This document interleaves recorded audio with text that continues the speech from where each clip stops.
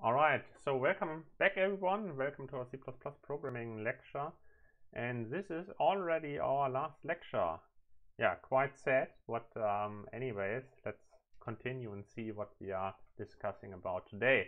So uh, today I wanted to give you an introduction to the final project. Um, I will upload the uh, final project exercise sheet sometime in the afternoon, I believe, right? So I do one last run over the sheet and then see if everything is fine. And um, exactly, but I still wanted to present you that exercise sheet such that the tasks that you need to solve are definitely clear to you. In case you still have any questions, um, of course, in a live lecture, you would be able to um, to ask questions directly whenever yeah they arise. But here now you uh, need to use the Q&A and Panda, but um, yeah, should still work out, I believe. What will be your task? Um, your task is to implement an algorithm from bioinformatics um, because I really find that is a quite nice exercise to really apply all the concepts, or at least some concepts that you learned uh, in C++. And you will need to solve four major tasks. I would say you first need to input some files, some input data that you program should process. Then on those input files, you need to run the Smith-Waterman algorithm. And as a third step, you will need to parallelize the algorithm, so make use of modern multi-core architectures. And once you parallelize the algorithm, you are left with some results which need post-processing, and then you could uh, then you can output the uh, results to a file. Great, that would be the first part. Then we will talk about miscellaneous and some advanced topics. Only very few, of course, there's much more advanced stuff in C++ going on, of course, but I just present you two or three um, more things really that I find at least interesting. Hope, hope you too. And then uh, as last point here, what next? So what can you do now with that knowledge that you learned uh, or acquired here during that course? what could be the next steps for you if that is your thing. Introduction to the project. Let's get started with that. Um, the task will be to compare genome sequences to each other. So there are nowadays such little machines as you can see here on the right hand side. It looks like a, yeah, almost like a printer really but um, it doesn't print anything. What it does instead is uh, you give it some prepared DNA samples, so you give it some molecule samples, and then machines such as this enable you to encode, not encode, sorry, encode is also possible by the way, but uh, this allows you to decode the genetic code. So you give it some DNA molecule and it will give you as an output a text file of the DNA bases that make up your genome, your genome sequence that you wish um, to have it analyzed, right? So that is a DNA sequencer. And uh, again, already mentioned that it decodes DNA molecules. And as a result, of course, it turns out that genomes uh, are quite large, in fact, and um, it produces massive sequence or text files, right? And then in those text files, you have individual characters, right? And um, the each character then represents a DNA base, which is a kind of yeah sub molecule, which is part of the um, DNA macromolecule, which makes up your genome. So you're left with massive text files, and nobody can really uh, go ahead and print it on a sheet of paper and then read the genetic code and figure out what it means. That that doesn't work, of course, because the amount of data is just too large. And for that reason, or one of the reasons why we have bioinformatics, right, and genome research, so we need computers. We need clever algorithms to decode those um, uh, text files, sequence files, and make sense of it. Compare sequences to each other, for instance. See how similar DNA sequences are, right? And such things need to be implemented as algorithms um, on the computer and such that the computer solves our problems here that we have when dealing with such files. That machine on the right hand side, for instance, would be called an Ion Torrent sequencer. So whenever, ah, yeah, maybe I don't explain it to you because that would take take quite a while. Uh, I, I don't wish to give a biology lecture here. Um, but uh, the, the cool thing here about is that this machine can detect an individual hydrogen atom that is emitted kind of when DNA molecules bound to each other. So that's very sophisticated stuff. So very exciting that such technology even exists and, and, and also works. That's uh, really cool. And it has become quite inexpensive. Um, I mean, 50,000, then maybe don't buy an expensive car, uh, but maybe buy, buy, such a machine. I mean, you can get it for the price of a car nowadays, which is uh, quite astonishing actually, um, compared to the technology that is inside that little machine. And I already mentioned that um, on the last slide here. Uh, what or one thing that we oftentimes wish to do in bioinformatics is to compare two sequences, right? So what you can, could do, for instance, you could decode the human genome, and then you could, I don't know, from some animal or what, you could also encode some other genome, and then compare those things and see how similar or different those sequences are um, in terms of genetic code. So, and the process of doing that is called sequence alignment. So how can we align two different DNA sequences to, to find the best match, so to say. So suppose we have two DNA sequences, like the first one and this second one. Um, how to find an optimal alignment, that is the question. And that is what you need to implement the algorithm that is that allows to find an optimal sequence alignment is called the Smith-Waterman algorithm. Uh, and it can do exactly that. it can actually find two things, and we are here interested in only the first thing. It can find an optimal alignment score, and this optimal alignment score uh, states or makes a statement on the simil similarity of two sequences. The higher the alignment score, the more similar two sequences are. And then with those uh, scores, or with that very score, you can find the optimal alignment according to the score that has been previously computed. In this project, we are only really interested in the score. We are not interesting, uh, interested in finding the optimal alignment. So that makes it a bit easier for you. Maybe I should add that at, at, at some point as an optional task or or whatnot, but let's see. And if we look at the two sequences, we can have the, or we find the following optimal alignment. So that would be really the optimal alignment. We can see here that, yeah, AA matches, TT matches.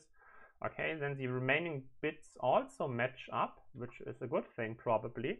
And but we have we have some gaps in that one sequence, so uh, some uh, DNA bases are missing here in the second sequence, and um, so we, we do need to insert some gaps basically. That is uh, perfectly fine, and then this would be called an alignment, and also associated with that alignment, you would uh, get a score, which the Smith-Waterman algorithm gives you as a result. So what is an alignment? Um, maybe let's be a bit more clear about uh, an alignment still. So an alignment is a sequence of operations that transforms one sequence into another one. Okay, so when you wish to find an alignment, you start with one sequence, any of those given sequences, and then you try to make it into the second sequence using some operations. What, what are the operations? What are the allowed operations? You are allowed to substitute. You are allowed to substitute one DNA base with some other DNA base.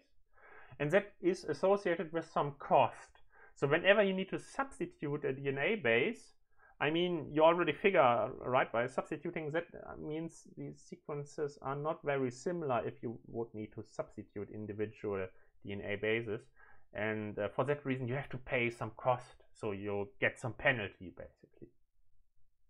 Then you have a copy operation, which is just, yeah, okay, I mean, the exact same DNA base uh, is found in both sequences. That is a copy. And copies are good because that means that the DNA sequences are similar. And if you can perform a copy, then you get like uh, an award, so to say. You get some points on top in, in the positive range. So you can add up some score points. And again, substitution, you would need to subtract some score points. Then there's also deletion. Mm, we already saw on the uh, last slide here. Those sequences have not been of same length. So if you then wish to uh, try to make the longer one into the shorter one, at some point you need to do some deletions. Otherwise, you would not match the number of characters or DNA bases of the second sequence, right? So deletion is also an operation that is allowed. And of course, that is not very similar if you need to delete some stuff from one sequence to make it the other. So that is also associated with some penalty. And then that is the other way around. Insertion, if you start with the shorter sequence and wish to make it into a longer sequence, you need to insert some DNA bases, kind of. And um, that also means that those sequences are not very similar if you need to insert stuff, and that is also associated with a penalty, so you get some negative score points. Exactly, and um, maybe let's go through this example. So what, uh, what are the operations? Say um, we wish to uh, make the first sequence into the second sequence here. What could we do about it? We could do copy, copy, delete, delete, delete, copy, copy, copy, copy, copy. And uh, the other way around, you could also do it, and then you would need to insert. So, but uh, I guess you get the point. Okay. All right. Um, I will also talk you through the algorithm in just a second, but maybe let's start with inputting the files because, um, yeah, at some point you need to get the data that, uh, yeah, represent your DNA molecule or molecules to two sequences. And uh, for that, uh, you need to input the files. sequences are not always, but very often, very frequently stored in a file format called FASTA uh, fast a faster. Uh, it, it, has nothing to do with fast. I, I actually I, I don't know where the name originates from. Maybe it would be interesting to look it up at some point. But uh, yeah, it's a FASTA format. Um, file ending is .fasta, .fast, uh, .fa. Um, pick any of those. Uh, doesn't really matter. And the file format is built in the following way. A FASTA file contains one or more DNA sequences and in a text file it's just a slightly structured text and each sequence is introduced with the greater than symbol right so you can see here um, you have that greater than character and then you have uh, what is called a header line and this header describes uh, the sequence that follows um, after the header file uh, header not header file sorry header line Hmm? All right. And then you have your DNA bases, so characters in, um, on your computer. You are allowed to have new lines, and the characters can be uppercase or lowercase letters, right? And then you have your first sequence, and it would also be allowed to have um, multiple sequences. So you could also at some point have some new header line, um, which introduces, which, which gives some information on the next sequence, and then the next sequence follows. But um, in this project here, we assume that each sequence is stored in a separate FASTA file. Okay. And the sequence files can be huge and um, so in the order of magnitude of several hundred megabytes so quite huge text files and um, be careful if you just open such a huge text file with your favorite text editor because um, most text editors are not supposed to work on such a large text file so it can not blow up your machine but it will make things a bit on the slow side you will i mean you can open those files um, but your system will not be very responsive uh, in the very first moments. And so reading line by line is actually too slow many times. And so, sorry. And then the idea would be to read such text files as one block into your main memory. So try to read block based. that is um, my view on things. Um, so since those files are typically several hundred megabytes, there is actually no need for memory mapped files, so I would not recommend using memory mapped files. Reading files as a block is um, perfectly fine for this project. So your tasks to solve are then, in summary, to read the files from disk as individual blocks, to remove the header line, of course, because the header line we are not interested in, we are only interested in the in the sequence that needs to be extracted. Mm. You need to remove the line breaks because we are also not interested in um, comparing line breaks to each other. And uh, you also need to convert uppercase letters, or you need to convert the lowercase letters to uppercase letters, such that you have like, um, yeah, either you use uppercase letters or lowercase letters, but probably you don't wish to use both. Uh, so you need to do some conversion here and make it right. So that's the inputting the files and the pre-processing. so now you need to apply the Smith-Waterman algorithm that you first of all need to implement before you can apply it. And um, let's have an example maybe. Let's perform the Smith-Waterman algorithm on two sequences. And the first sequence is ACGA, so adenine, cytosine, guanine, and adenine again. And then we have the second sequence TCCG, uh, two, was it thymine? Yeah, probably. Cytosine and uh, guanine. Um, those are the DNA bases. And you can compute the Smith-Waterman score and also the alignment by constructing such a matrix. So don't be afraid, I will talk you through. And you can also check if your algorithm works correctly by using this web page here, because this web page uh, from some bioinformatics lab um, provides an online tool which you can give some sequences. You can give it some penalty weights or um, exactly.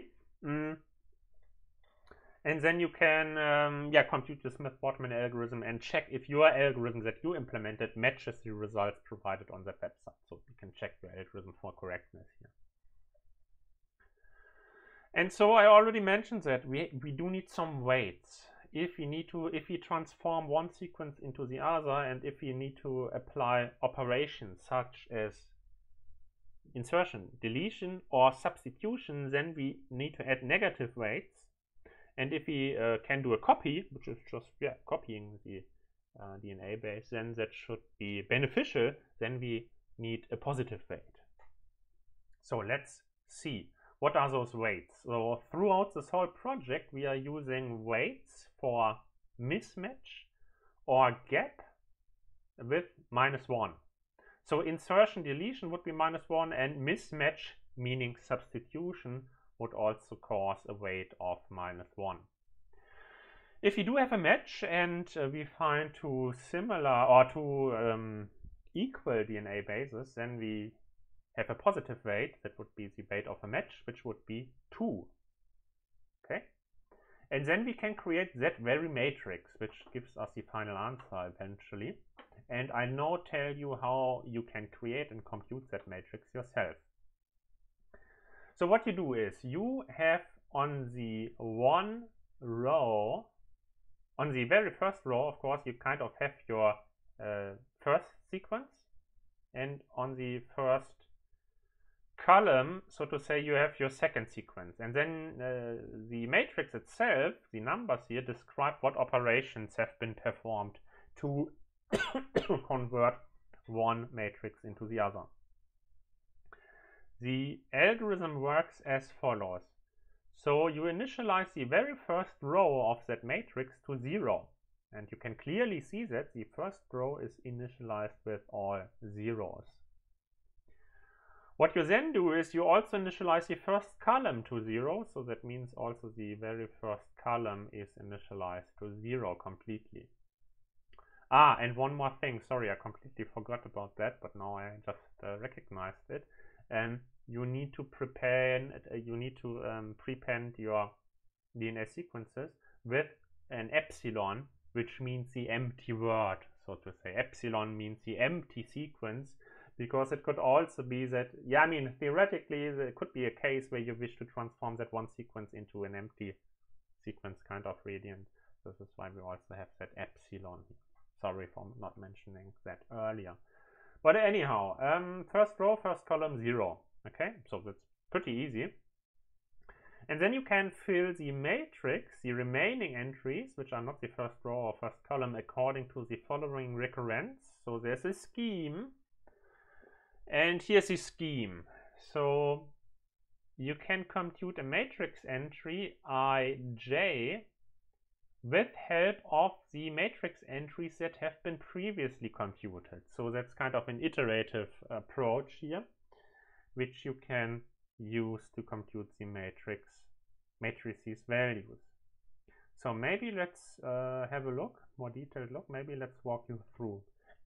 okay, what's going on? First row, first column, zero, already done. Then maybe let's uh, compute that entry here. Of course, now we um, know that it's already zero because I already filled it out completely. But maybe let's have a look how we would compute that thingy. So what would we do?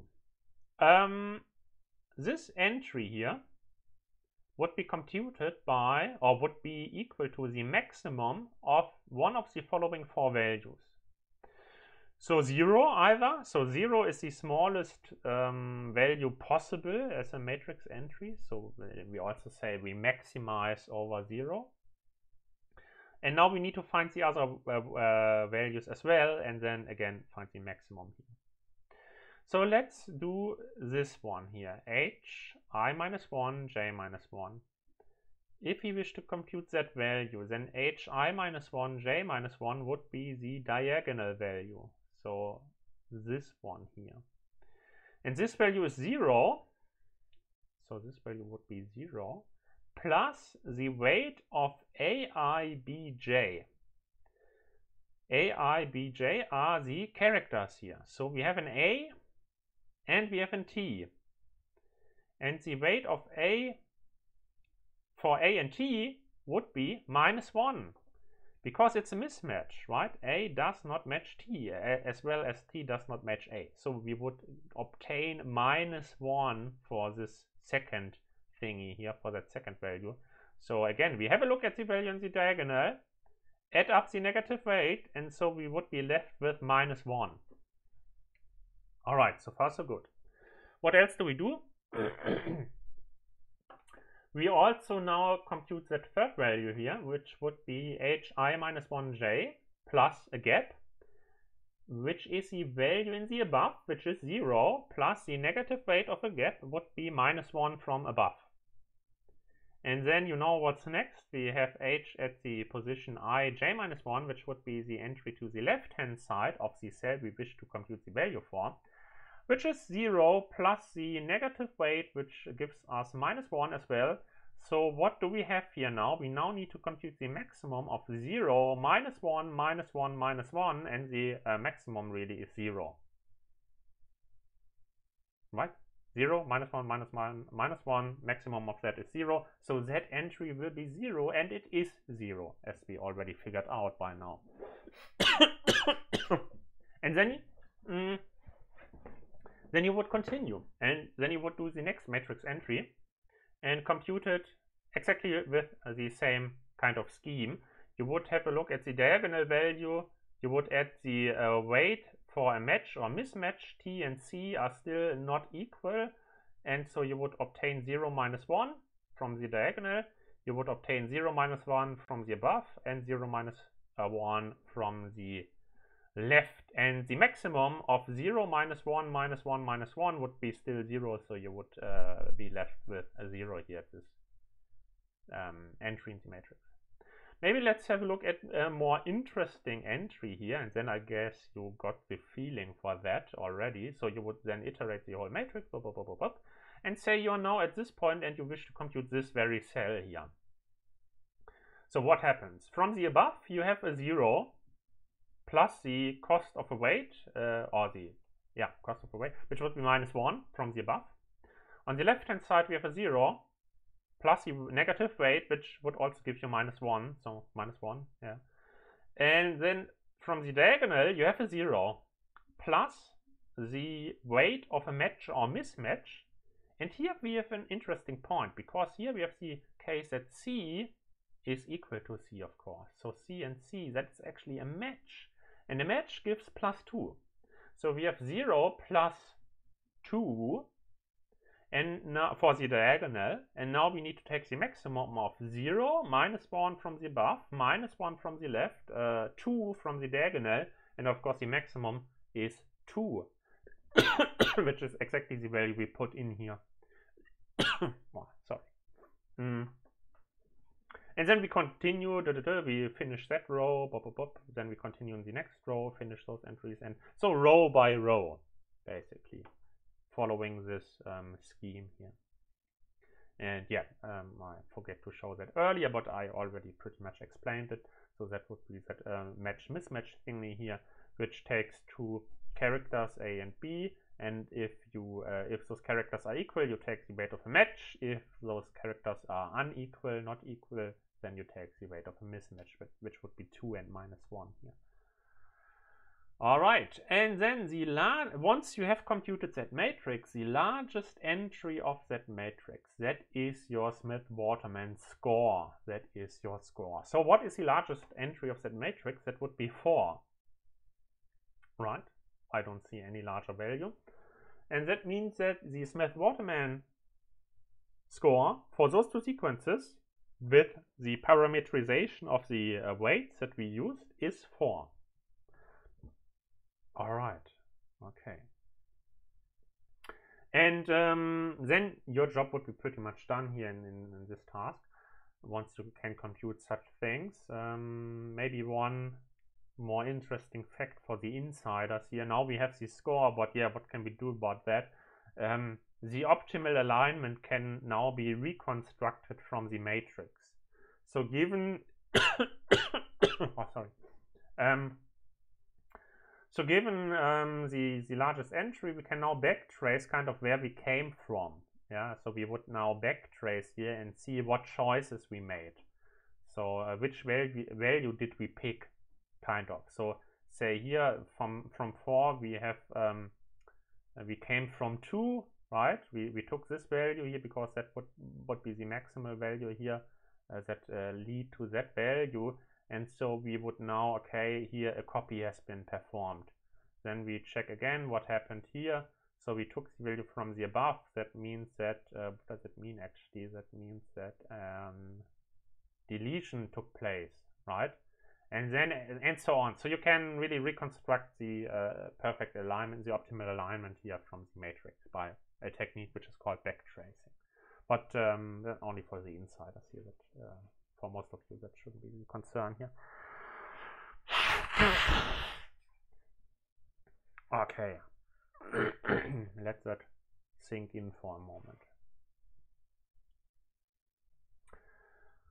Mm, exactly. One more thing. Um, because because we are not interested in the alignment. I mean, to reconstruct the alignment, we would need the matrix. But since we are only interested in the largest value, we don't need the matrix. At least we don't need the complete matrix. So, and first of all, you can, for perfect reasons, you can, I mean, you can, I'm perfectly fine with you using the matrix to compute the score first. But then I would ask to do an optimization. Because you don't need the entire matrices, or matrix, you don't need that entire matrix, but you only need two rows, right? Why is that? Um, with the first row, uh, so you need two rows. With the first row, you can you you can compute the second row, and then with with your uh, you can make your second row the new first row, content-wise, and then you can compute the next row right? So you can read, uh, you can compute one row in terms of the other row and then just swap the contents and do the next row and uh, swap the contents. Blah, blah, blah. Does it make sense to you? So you would compute the first row. Eh, sorry, you would have the first row, which is all zero at the beginning, right? That's easy. And then with that row, you would compute the second row. And once you're done with the second row, you would swap the row's contents. And then what is now your first row again With that, you compute the next row. And so you only really need two rows to compute the score and one additional variable where you always keep track of what is the largest value you have seen so far. And then you're done. And that is way more efficient than trying to construct matrices. Because a matrix is always squared, right? And so here, otherwise you could get away with just two rows, which is far more efficient. Okay, so that would be the one thing. That would be the actual algorithm. And now the idea is to, yeah, I mean, that would be a bit easy, right? So um, now the idea is to have you run that algorithm in parallel. So we are actually not in, we are not interested in running the Smith-Water algorithm, give it both sequences and have a score. That, that would be far too easy, right? So what we do instead what we do instead is the following. I ask you to partition both sequences. We have two sequences, right? And I ask you to partition the sequences in 50 character segments. And then the idea is to com do to compute the Smith-Waterman score for each pairwise 50 segment uh, comparison. Does it make sense? So let's talk about that in more detail here. So, and um, I don't, so uh, for testing that and for, for your project, I give you a large file to do the input output and see if your input is fast enough. So inputting your file. And for the actual Smith Waterman parallel thingy here, which I'm just describing, I give you smaller files, smaller DNA sequence files. And but because we are doing uh, 50 character segments comparisons, um, that will still be like your your Smith-Waterman algorithm or your function or however you implement it. That will be called millions of times. So that is really that will melt your CPU, and um, so that's a very good training to to yeah really get a feeling for why it is beneficial to make use of parallelization because you have really millions of comparisons to do. So why not speed it up and running things in parallel? That is the idea. So okay maybe let's discuss it in a structured way now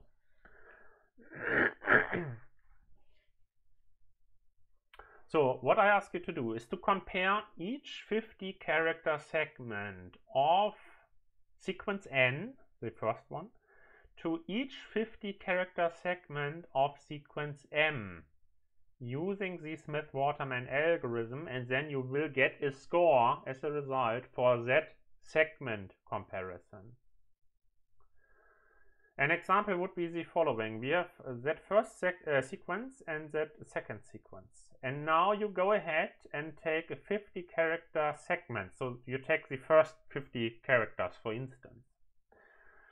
And you do a Smith-Waterman comparison and compute the score of that segment and the first 50 characters of the second sequence.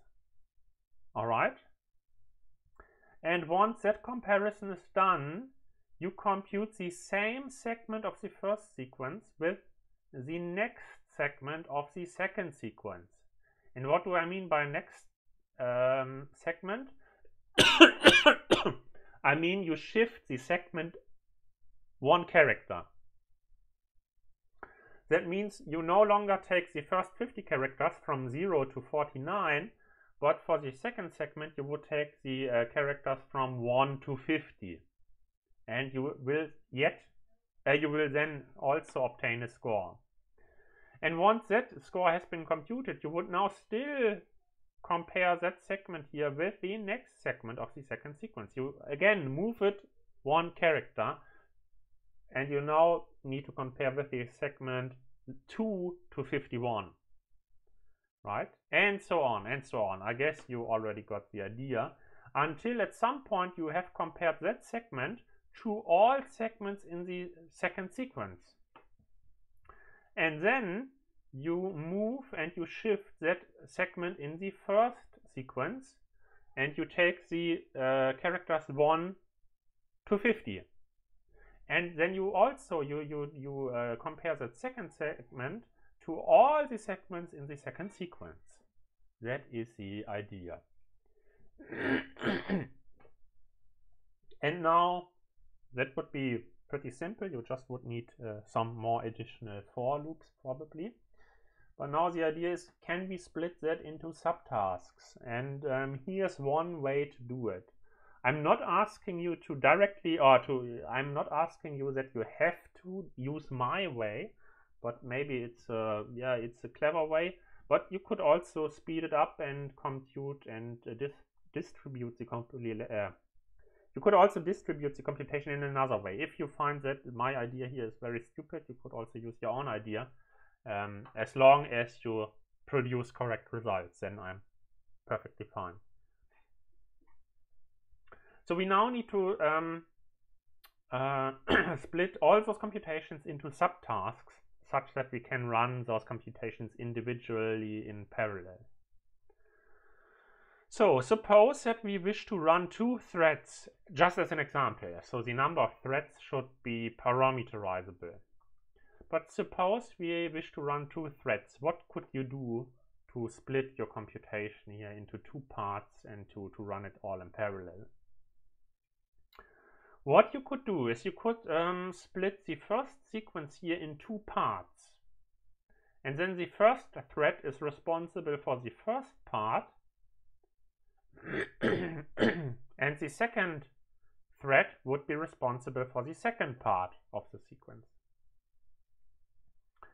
And then what, what is the idea here? The idea here is that one thread compares every segment of the first part, right? So that one thread that would be responsible for computing all segments in that very sequence here, in that very first part, to all the segments of the second sequence. And the second thread would be responsible for computing all the sec uh, for doing all the comparisons of the segments and in its part here of the first sequence to all the segments of the second sequence. Okay. And the other thread, again, yeah, I just said that, uh, compare segments of the second part to every segment of the second sequence, exactly. You have to be very careful at boundaries, uh, at the borders of parts. So meaning that the first thread in this example would still also be responsible for computing the segment here, which is 49 characters in the first part, but one character in the second part and that first thread would also be responsible uh, so for all the for all the following uh, segments as long as it still has one character in its part. So that first thread would also be responsible to compare that uh, that segment that is one character in the first part here and 49 characters already in the second part. That would still be the responsibility for the first thread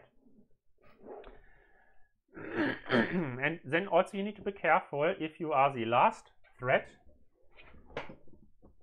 because for the last thread um, you are not allowed to like shift your frame your segment um, across the border right? So the last segment would be that is uh, at the very end here and the beginning would be like 50 characters earlier. Does it make sense? It, it, yeah? Okay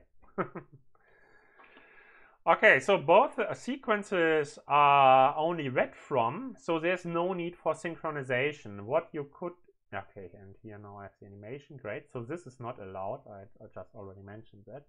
And um, uh, both sequences are only read from, that means that there's no need for synchronization. Both threads can read from the character sequences because they are only reading from no race condition, right? There's no race condition because all the threads are just reading from the character sequence. Hmm. so for instance, you could use, you could make both global character sequences uh, global variables. Uh, you could, ah, once more, you could make both DNA sequences global variables. For instance, that would be one solution because they are only read from, no problem. Um, and because you have to access you have to access individual characters of those sequences right? You need you need to be very sure to have to get your indices correctly so that you correctly index in into the sequences. So that is uh, as one tip here or as one um, yeah pro tip so to say.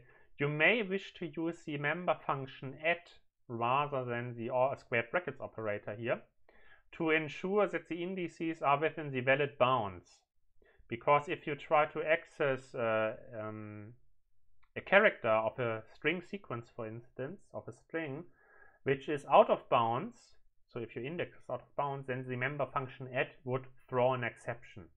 So then you know that your program is not correct. You could alternatively also use Clang sanitizers, as I already showed you in uh, in the lecture, I believe, and um, also in the exercise classes. Or you could also use the Valgrind tool to check if your program has any memory issues.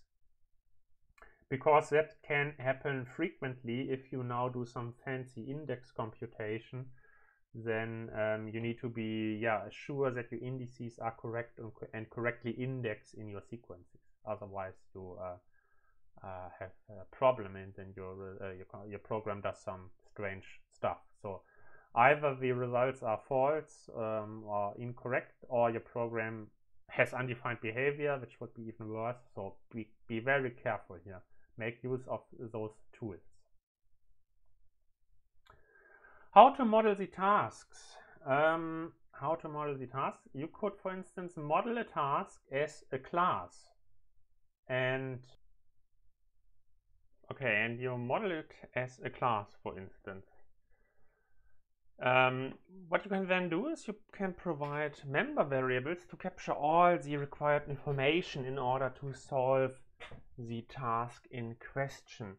So you can use a class and its data members to model a task and on and the information necessary in order to conduct the task that you can then hand over an instance of to one or more threads really that is the idea for instance what information could you capture and provide uh, or store in, in such a class. You could, for instance, store the start of the corresponding um, part in the first sequence, sequence n, and probably it's also good, a good idea to store the end of the corresponding part in sequence n for each thread, and some additional information, of course. Uh, I, I don't wish to give you the complete solution, right? So you should also uh, like solve the problem on your own. and then you can provide a constructor to correctly initialize. Uh, in Sorry, I just had lunch. so to provide, uh, you could also provide then a constructor to correctly initialize the data members and set up the task correctly. And you can implement the call operator then to start the actual computation. And then once you create an instance of your task and give it to a thread, that thread will call the call operator mm, and will start the computation. Here is an example, of course, that is not a complete um, that is not, not a complete example, but that should show how such a SVD Smith Waterman distance or distance is probably not correct because it's actually uh, more than a score, right? The higher the score, the better. Mm. But it's just an example how such a um, task could be modeled. Exactly. All right. Good, good, good, good. One more important thing here, and I see that a lot, and um, so that's why I tell you to, uh, such that you can avoid this mistake. And what you should try to do is you should try to avoid doing unnecessary copies of string. So because copying data just blocks the processors and if the processor is just busy with copying data, I mean no computation or no meaningful computation can be performed in the meantime. So that is probably not a very good idea. So what is not a good idea is the following. Um, say you have your sequences in global string variables that uh, could be done, for instance, and then um, you could implement your Smith-Waterman distance as um, a function which takes two string arguments by value. and then mm, you take substrings of the global string variables. You take 50 segment or 50 character substrings using the um, string substring member function and give it to the Smith-Waterman distance. But that would be really expensive because you have to uh, perform millions of those small string copies, which is really inefficient.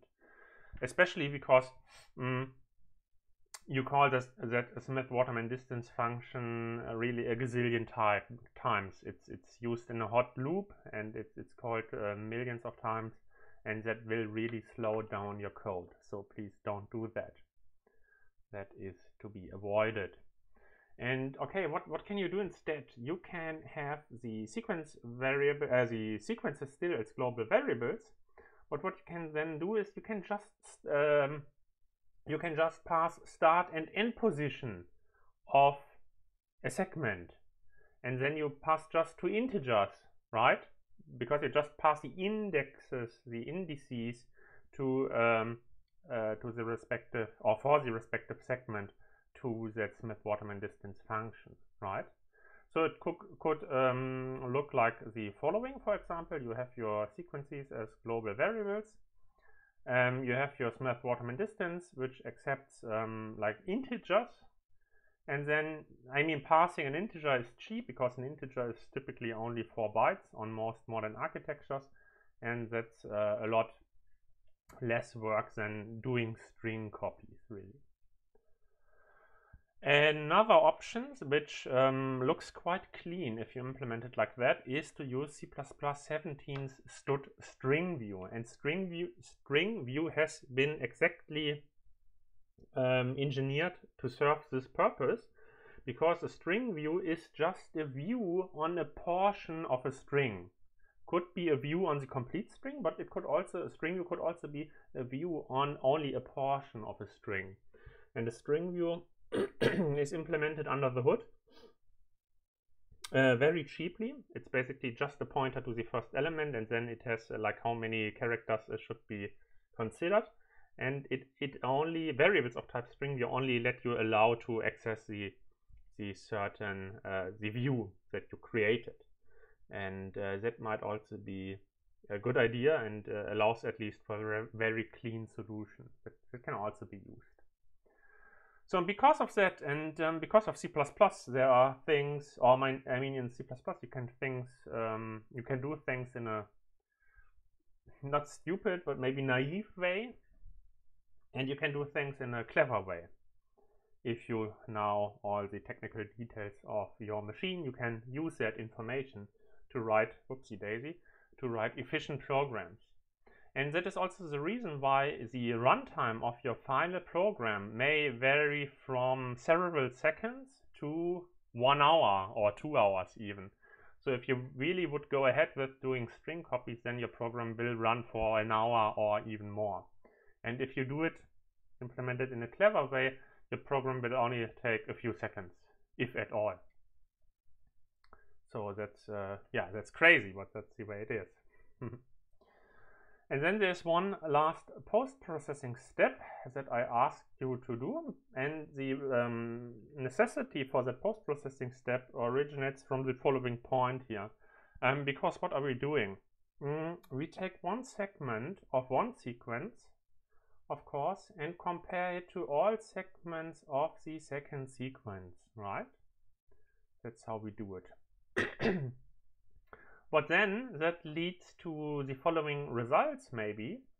Um, then it might be the case that for the same segment here of the first sequence, um, we have, of course, the same start positions, uh, the same, yeah, start positions, and we have different start positions for the segments in the second sequence, and uh, we have, of course, um, I mean, different scores depending on what the algorithm computed.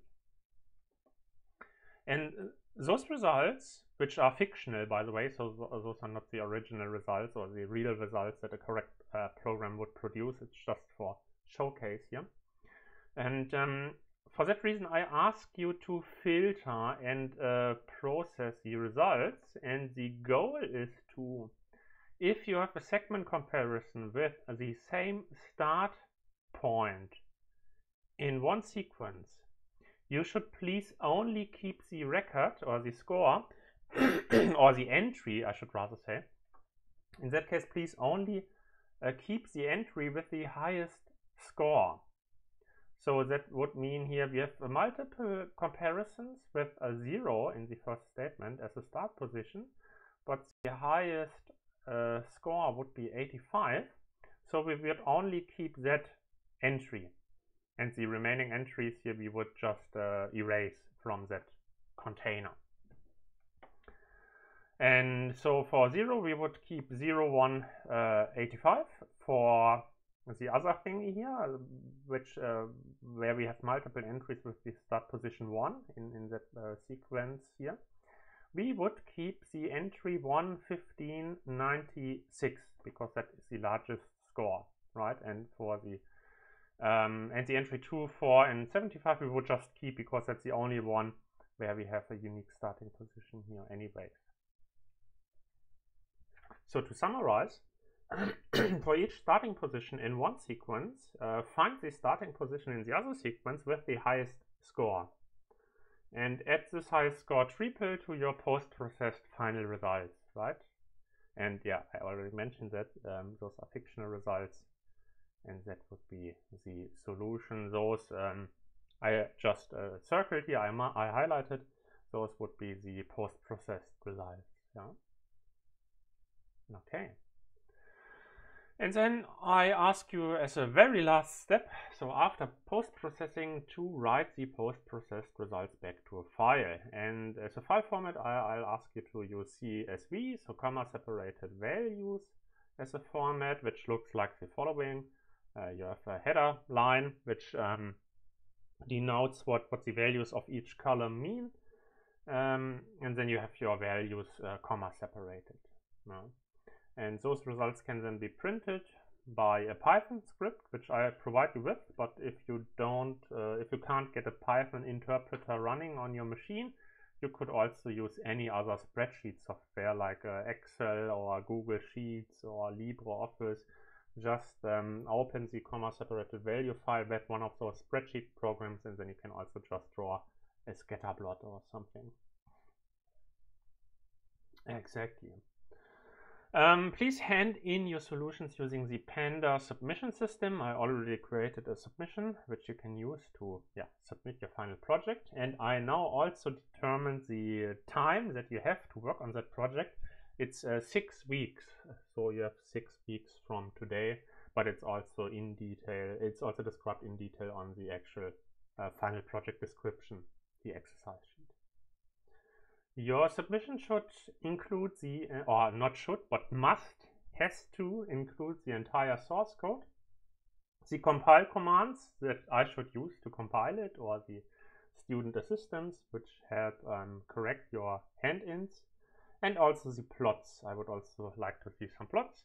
And please also include a README with your complete name, like first name, middle name, last name, and your field of study and faculty, because I require those information to print a nice certificate at the very end once you pass the final project. And yeah, once again, those are also fictional results.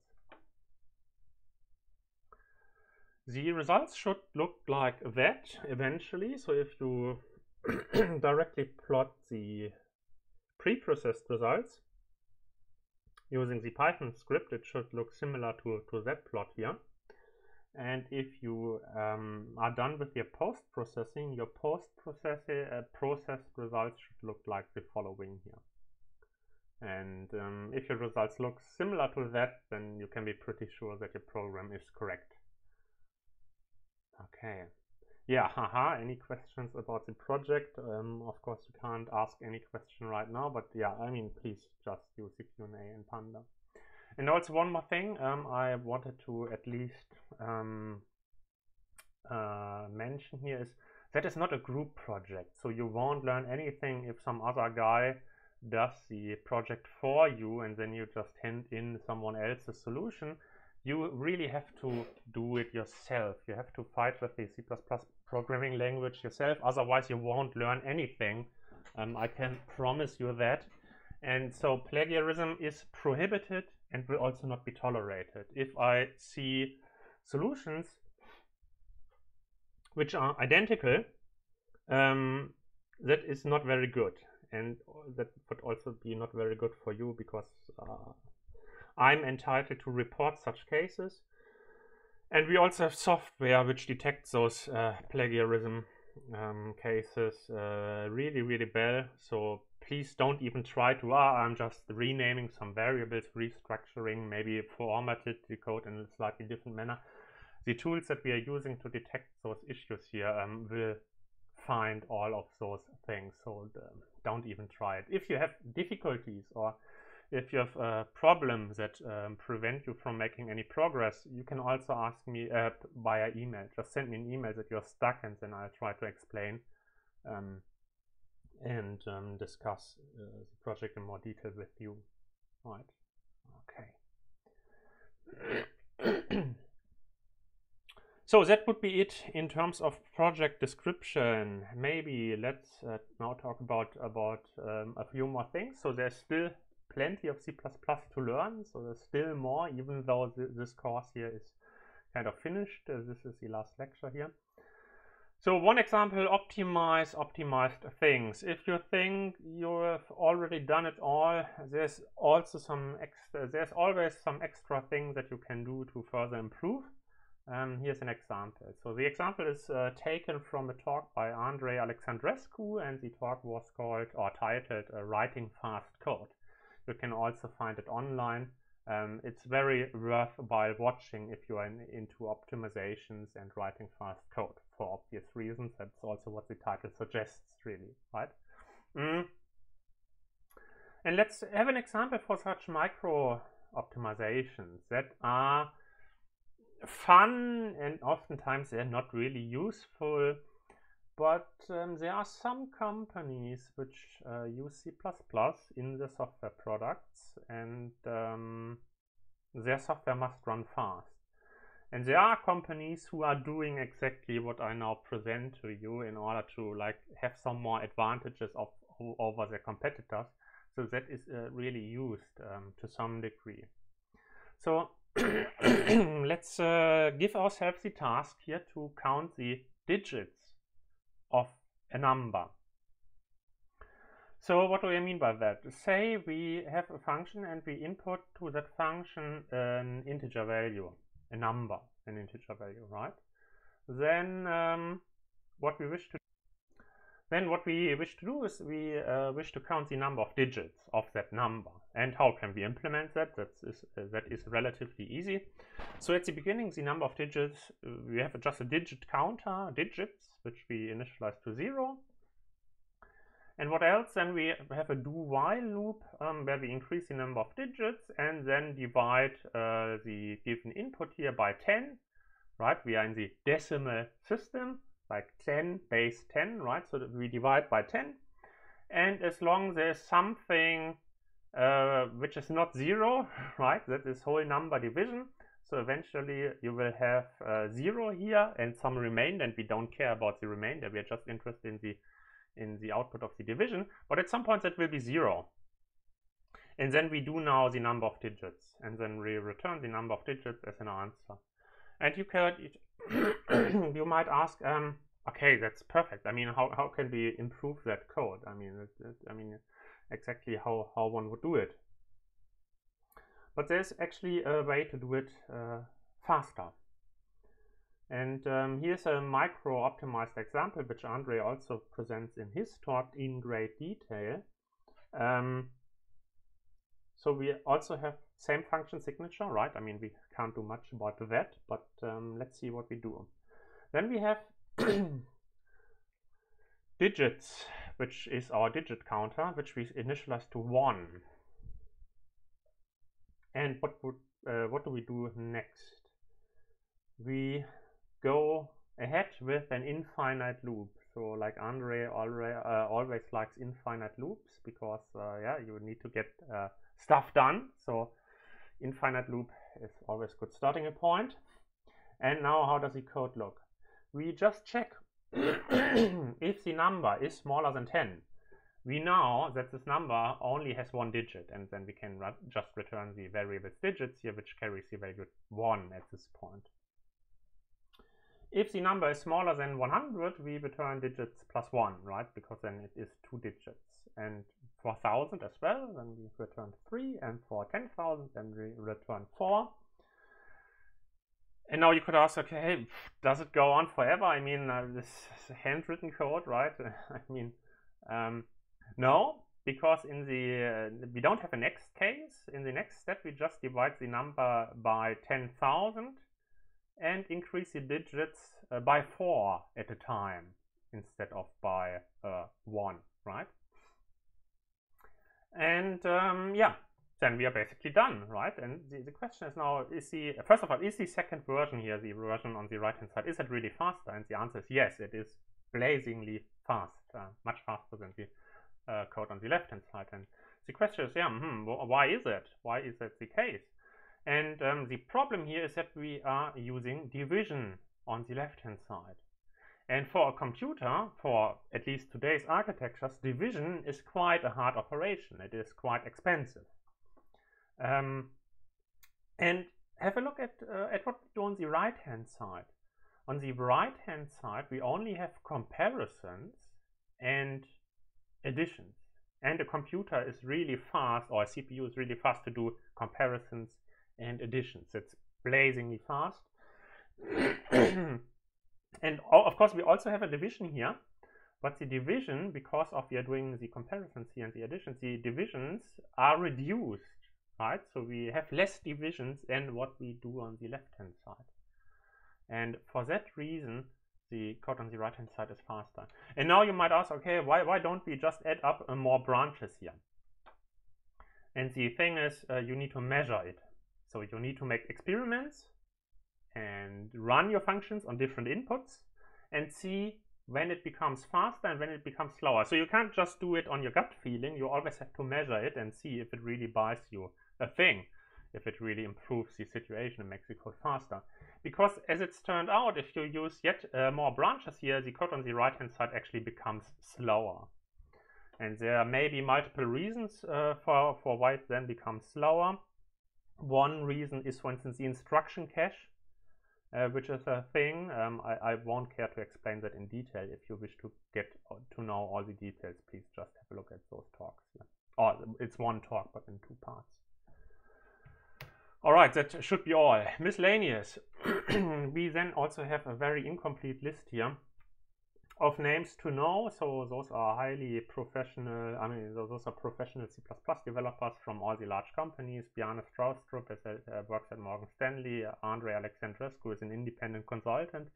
At least it's uh, my last uh, um, that's what I have in mind here. Chandler Carruth works at Google and leads the C++ compiler team. Sean Parent is Adobe, uh, Microsoft, uh, independent consultant, retired by now, unfortunately, and many more. So those, if you Google and look up those names, um, those are the names of the C++ guys in the large companies. If you wish to get more inputs on C++, you can get those inputs on YouTube, for instance. There's a C++ conference called CPPCon, just uh, go on Google and or on YouTube and uh, look um, look it up. Code Dive, also an interesting um, conference which presents um, many contents about C++ and how to write effective and efficient C++ programs. So very interesting. So you can find all those good stuff here uh, on YouTube. So really interesting. Um, what else do we have? Allocators for container types. So I never really told you about allocators and that allocators even exist. And now I do, and I wish to show you what an allocator actually is. Um, allocator, memory. What is memory? I mean, memory you, you, you need. Uh, you need to allocate memory, right, for your computations at some point. You can't usually put everything on this stack. And so for some things you need to do some heap allocation uh, heap allocations and need to place stuff on the heap and then do your computation on the heap. And eventually if you don't need that memory anymore you would free it right? And uh, this is how we all done and love it. You could use uh, smart pointers for that. Um, if you use like the the ancient style the ancient style you would just use operator new. And here you would for instance, in the first line, you would um, allocate a single integer on the heap and uh, uh initialize it with 42, and then you get a pointer, and you can do stuff with that um, heap allocated integer by using the pointer, which carries the address of where that thing is on the heap, and um, eventually you can delete it if you don't need it anymore. And similarly for arrays, you would use array new, and here you would um, allocate an array of 10 integers on the heap and you get a pointer to the first element, you can then do some work with that uh, heap allocated integer, uh, integer array and eventually you can delete it using array delete for an array new. So far so good. But you can also abstract from operator new and um, you can just have something which is an allocator. For instance, std allocator for integers and you can create you can actually create a variable of, of type std allocator. And uh, this thing is uh, parameterized on the type it should allocate so an allocator for integers. And then you can on that variable a you can allocate 10 integers for instance. And you get as a return value a pointer to integers the first element in fact. And here you can um, do uh, some stuff with all those integers and eventually if you don't if you no longer need uh, those integers that you allocated you can deallocate it. You can deallocate it yeah.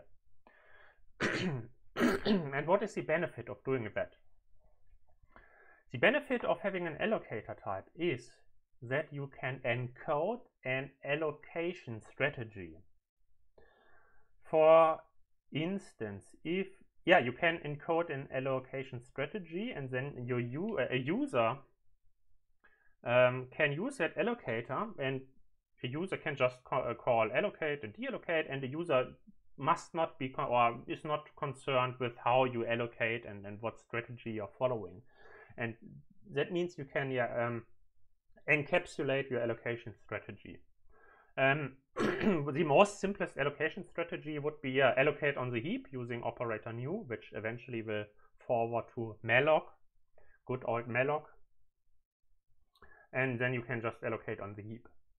You could, however, also implement an allocator that does something else. You could, for instance, have an allocator which just allocates on the heap, right? Uh, I mean, a bunch of integers on the heap. And if you call allocate on your allocator, it just gives you a pointer uh, into the int. Uh, now I got confused. Sorry, once again, forget what I just said. So it could also be, or you could also implement an allocator that allocates on the stack. That could then, for instance, be called a stack allocator. And the stack allocator could, for instance, just make some space on the stack, which is yeah can be accessed quite fast because you don't have to perform a system call to malloc, what just you just increase the stack point and then you have um, space on the stack and can use that memory on the stack. And um, if a user of your stack allocator calls allocate, you just give it uh, you just give the, give your user a pointer to the stack memory that he or she can then use. And um, when you deallocate, yeah, you don't have to deallocate because it's stack memory, right? So there are, there's really some fun stuff. If you didn't get the uh, concept here completely, that's perfectly fine. It's a rather advanced concept. But uh, really with allocation strategies, you can go one level deeper and um, precisely uh, encode how you wish to allocate. And if you not already observed it, I will now tell you that every STL or boost container can be parameterized by an allocator, which describes an allocation strategy. So when to allocate memory and when to deallocate memory and also how. How to allocate and deallocate. Do you allocate on the stack? Do you allocate on a heap? Do you implement a free list? Do you implement, a, I don't know, but uh, plenty of strategies you can all uh, look it all up for yourself. But if you look at the definition of the STL vector type, you will find, okay, there is a second template parameter called allocator, really, which is defaulted, so you don't have to provide it. And if you don't provide it, it uses just the std, um, a std allocator, so template uh, default allocator. But you could also provide your own stuff. And same holds for a std map, for instance, or all the other containers. Okay, so if uh, what, what would be an application? I already mentioned a few and now here maybe let's have some more concrete example.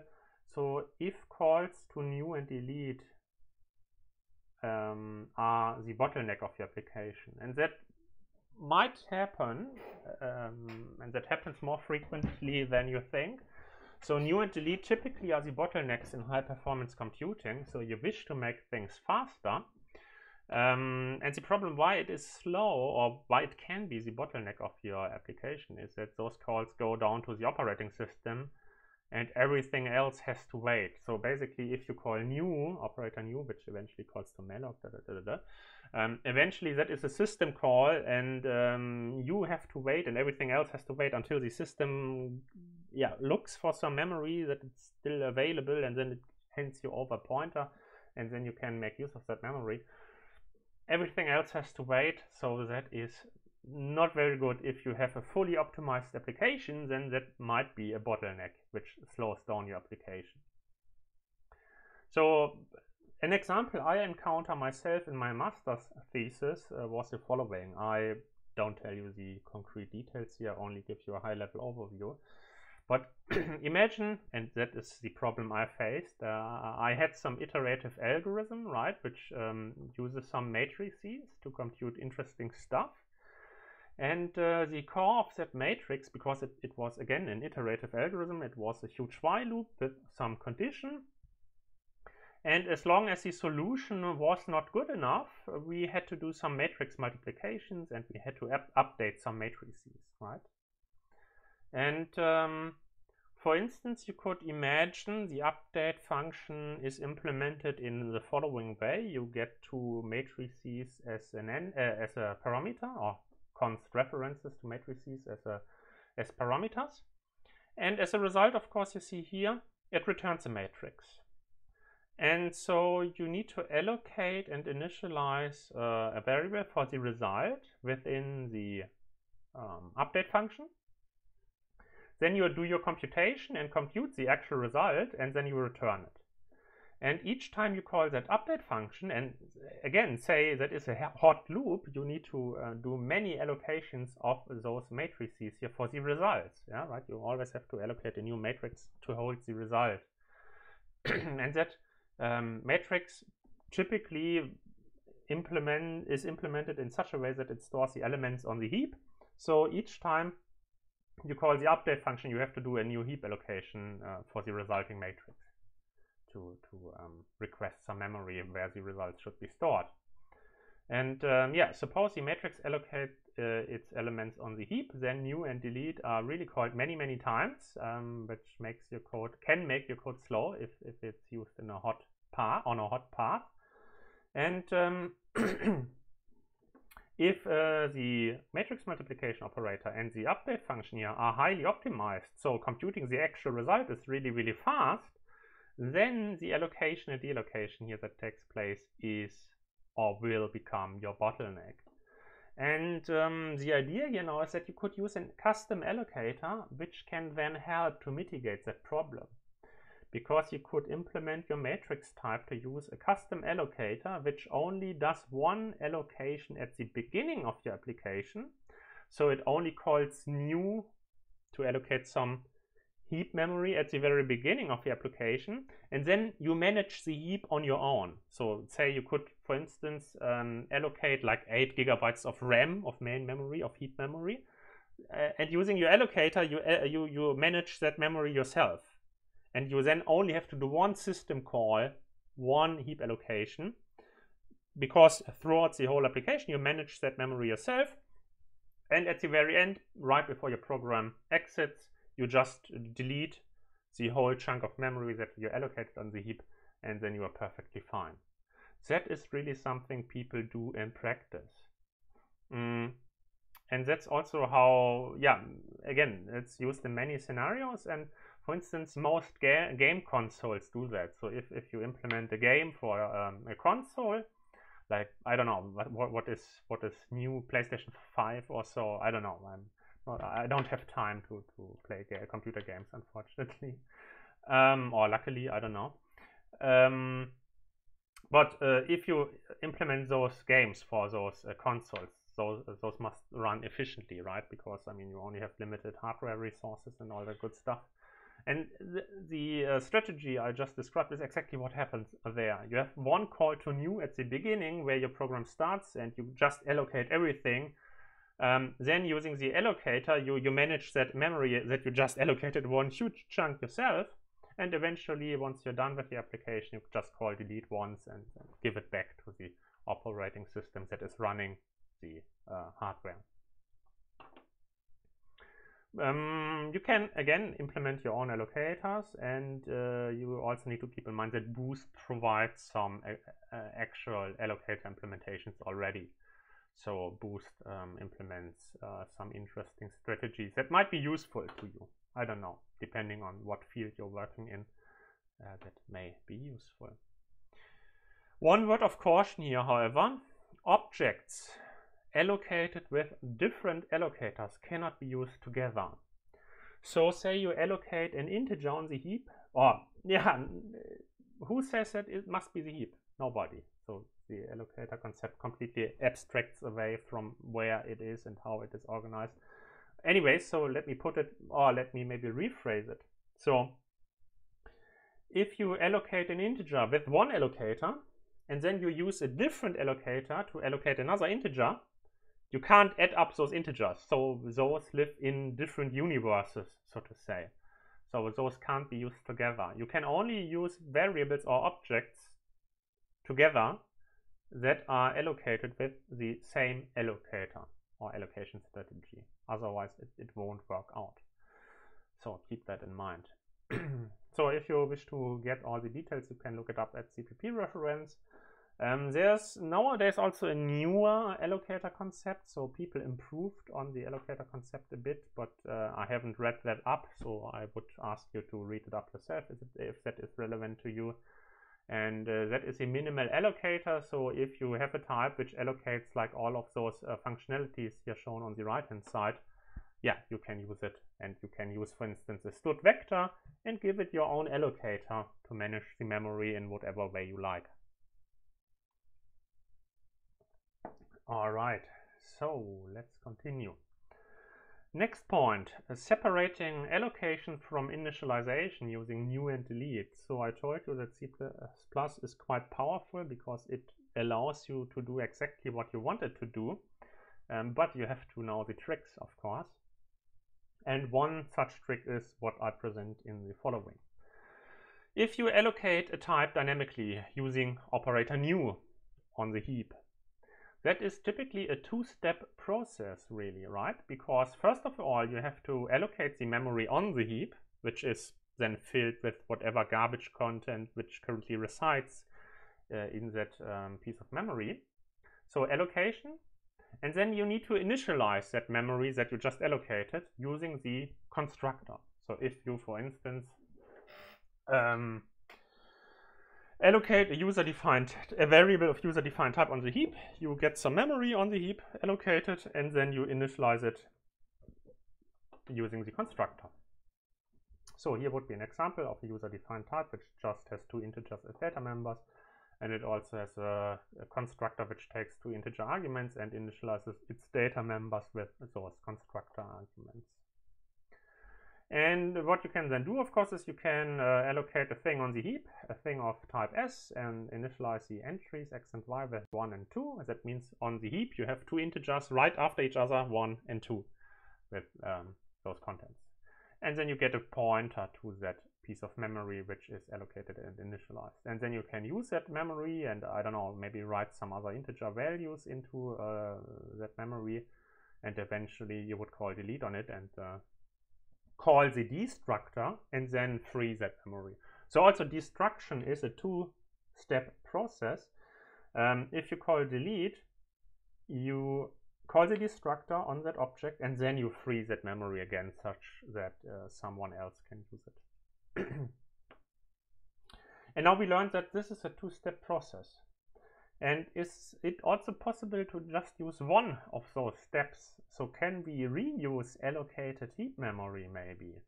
That might be interesting for some applications. So can we reuse allocated heap memory?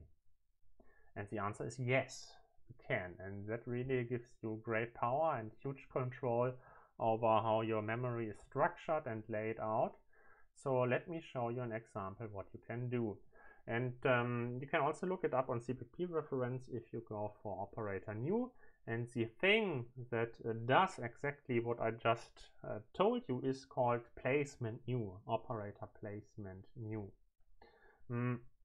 let's have an example here so we still have our struct s. We give it two integers. Once again, some, uh, exactly the same as on the last slide, have our constructor here. And then we just give it some print function such that it can print its data members x and y. Okay.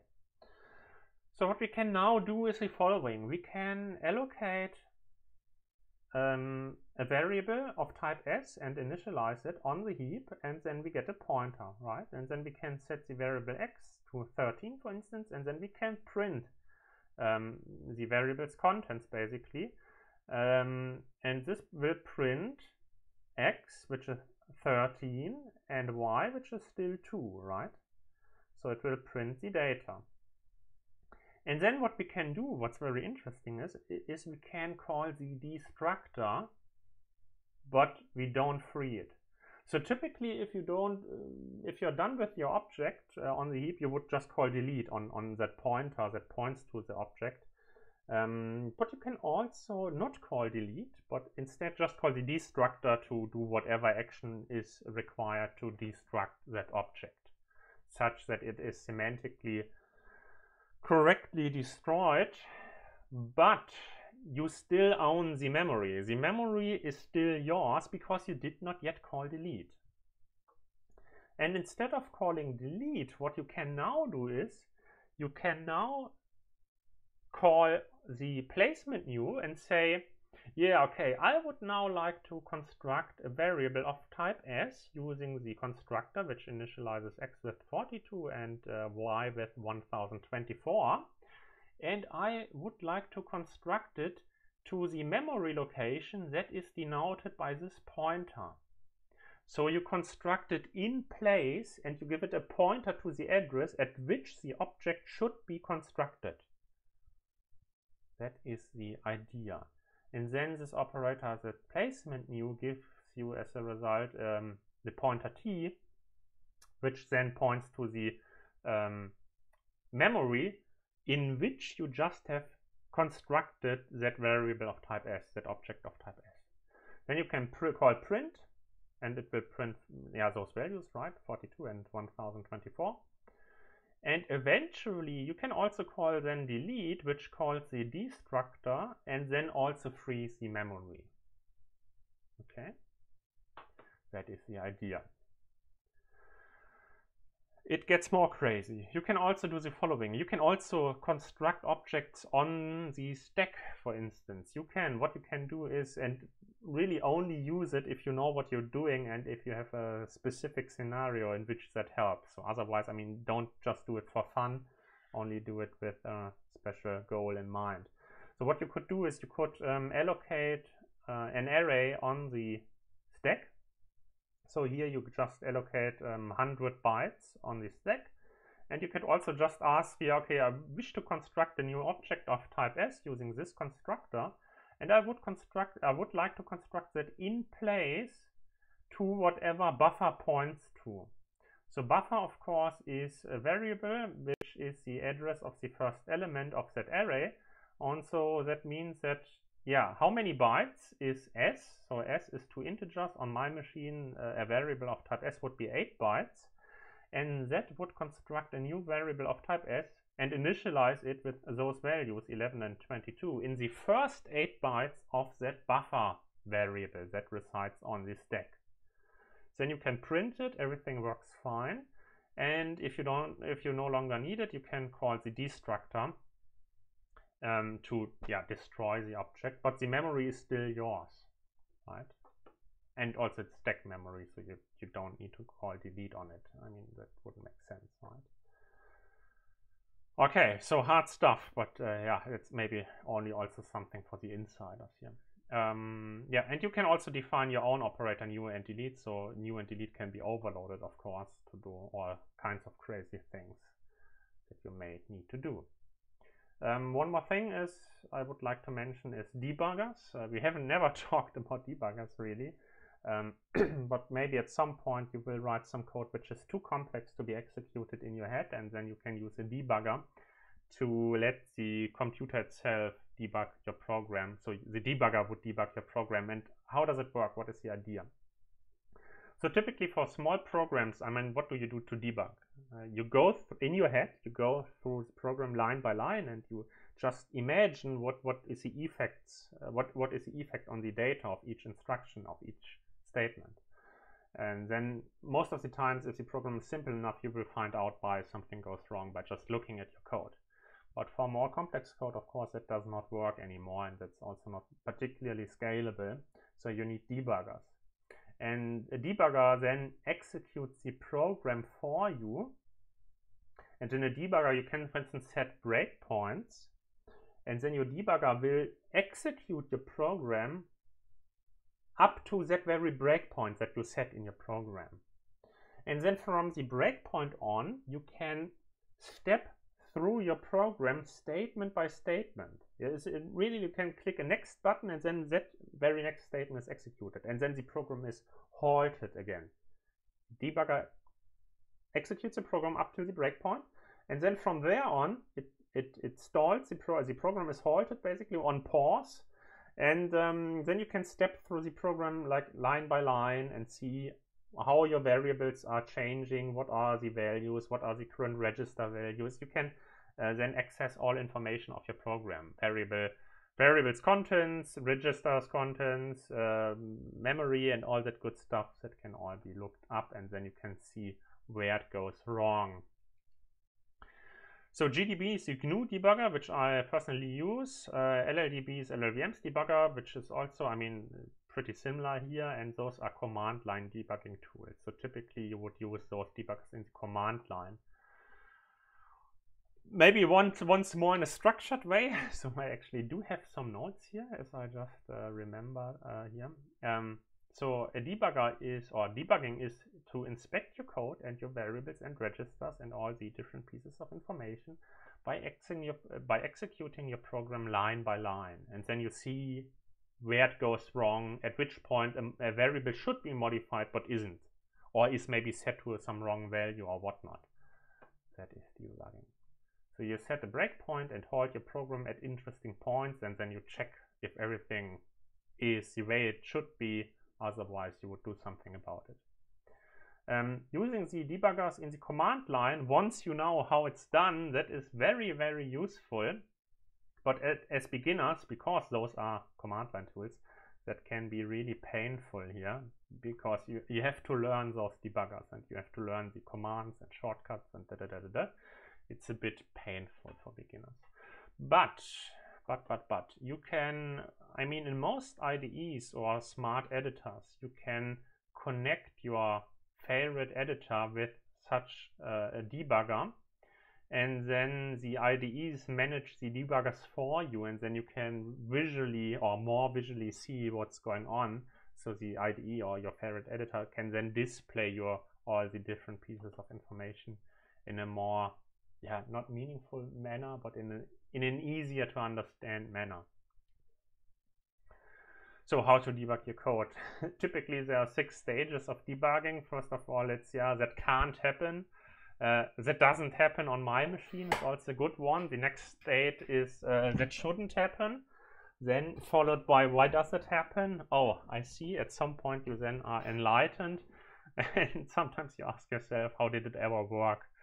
Um, with that very bug that you just found and detected here. So uh, again, set breakpoints right before the code of interest. You can also set multiple breakpoints. You can then watch variables that are interesting to you, where you feel uh, like those variables are not set or handled correctly and then you can step through the code line by line and detect where it goes wrong. And uh, then hopefully fix the bug of course right? And uh, then not only fix the bug but also check if that is really a fix and fixes your bug. And also to check if that fix not destroys like other parts of your program which then all of a sudden go haywire. Uh, that must also be checked and avoided of course right in order to use those debuggers, GDB, LLDB, you have to compile your programs using the compiler switch dash lowercase g. Dash lowercase g includes debugging information in your binaries.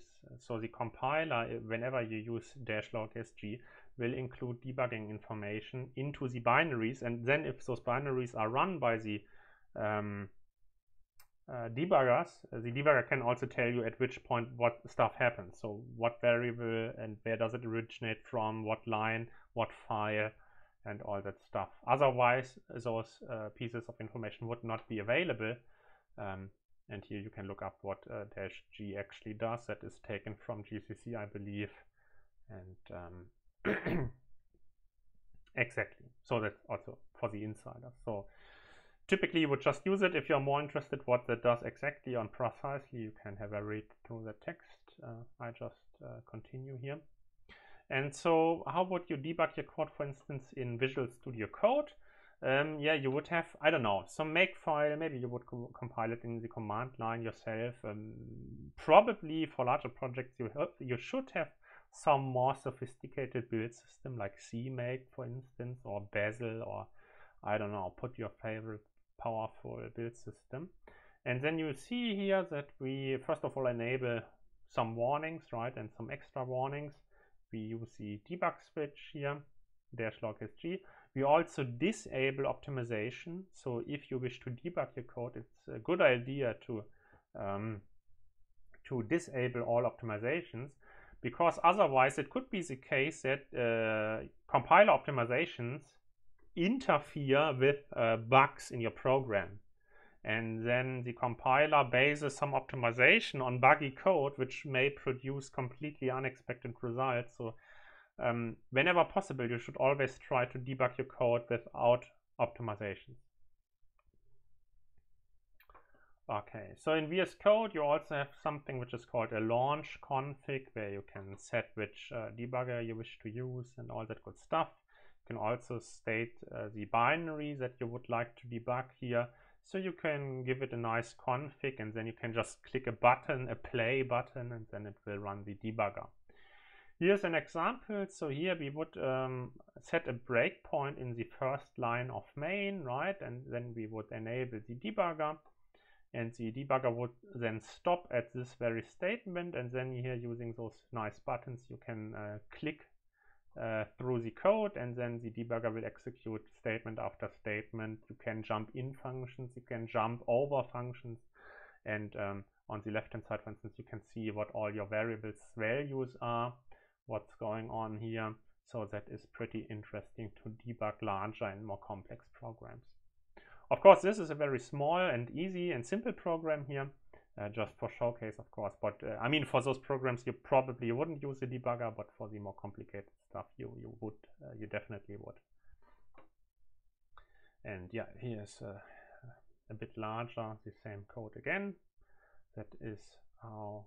Uh, I mean, you can see here, right? So we have a variable s, right, which has some strings in it, like hello and world. And this is the statement that the debugger is currently waiting at it has not yet executed. And here you can also inspect the um, the elements of v. You can inspect the global variables here a b and c and see what values they currently carry. And so um, yeah it, it helps you to debug your program right so that would be it on debuggers. I mean, you have to look up the rest for yourself. I mean, those are only like entry points, right? Um, I mean, time is too short. I can't explain everything to you in detail. That's unfortunate, but that's how life is. And um, maybe one last word. We are almost done here. Um, what next? What what to do next? So we are done with that course now. You know now the basics and a bit more of C++.